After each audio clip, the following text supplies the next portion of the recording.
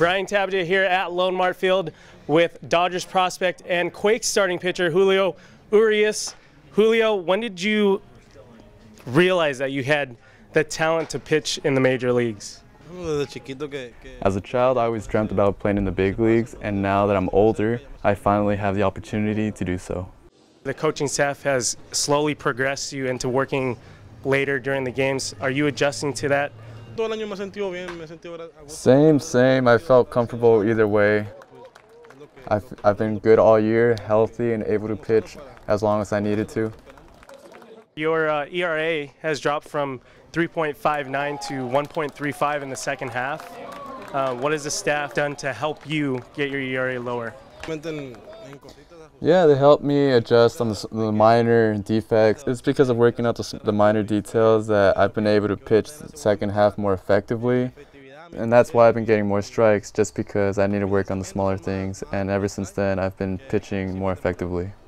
What is your favorite pitch to throw? We all know that you have the fastball, the slider, and the change. What do you personally like to throw? The fastball. Why? Because it's my strongest pitch, and it's what I feel comfortable with.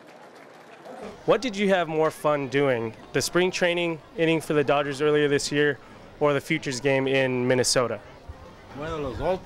Well, both because one was a major league and one was a minor league. I enjoyed both of them. I, they both prepared me, but if I had to choose one, it'd be the major league. You're grown up in this National League team. How comfortable are you swinging the bat? Yeah, I like to bat. I'll see what I could do. You recently just had your birthday.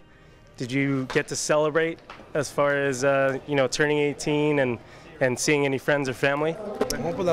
Yeah, I had a great time. My dad came over. The rest of the family came over to visit. I had a great time spending spending it outside of the home with everybody here visiting me. I enjoyed myself, and it was a great time.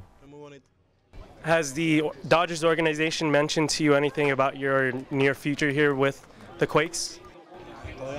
No, so far they haven't told me anything. Right now, I just got to focus on this league. Maybe in the future they'll let me know about something.